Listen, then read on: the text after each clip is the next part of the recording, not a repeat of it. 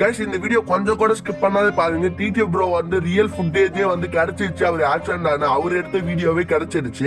எல்லாருமே அவர் மேலதான் தப்பு சொல்லிட்டு இருந்தீங்க. அவர் வீலிங் பண்ணிட்டு இந்த மாதிரி கார் நல்லா அப்படி சொல்றாரு அப்படின்னு சொல்றாங்க. அவர் நல்லா ஹைவேஸ்ல கரெக்டா தான் போயிட்டு இருந்திருக்காரு.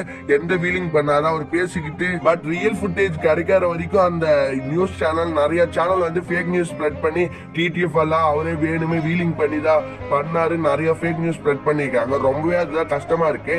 அவர் வந்து இப்பதான் கீழே பாலத்துக்கு கீழே இறங்கி போயிட்டு இருந்திருக்காரு.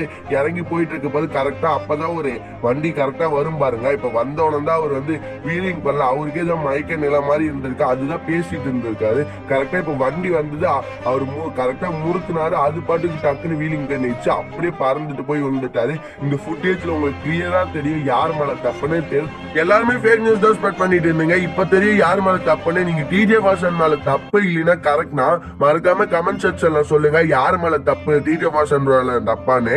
இந்த ஃபுட்டேஜ் பார்த்து இங்க எல்லாத்தையுமே தெரிஞ்சிருக்கும். அதுல நிறைய சின்ன பசங்க கமெண்ட் பண்ணானுங்க. டேய் இதெல்லாம் ஃபேக் அவன் உருட்டுறான் நீங்களும் அப்படின்னு. அவன் உருட்டினாலும் பரவாயில்ல நாங்க நம்புறேன்டா ஓகேவா இந்த வீடியோ உங்களுக்கு பிடிச்சத மறக்காம லைக் பண்ணி நம்ம சேனல் சப்ஸ்கிரைப் பண்ணிடுங்க. Okay okay tata tata